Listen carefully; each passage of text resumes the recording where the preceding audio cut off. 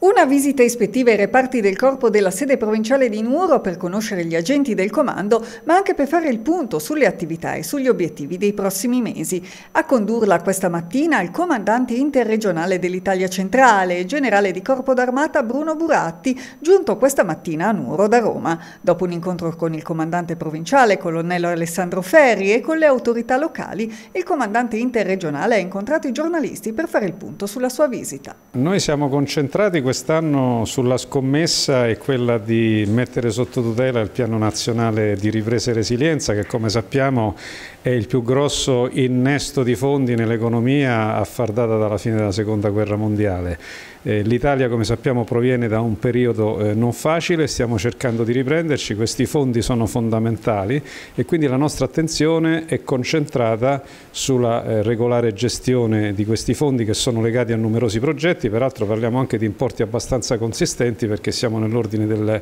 miliardo e mezzo di euro sulla regione Sardegna di cui oltre 400 milioni soltanto sulla provincia di Nuoro. Riguardano molti progetti che noi stiamo monitorando anche in collaborazione con gli enti incaricati poi di spendere e noi confidiamo che si spenda bene.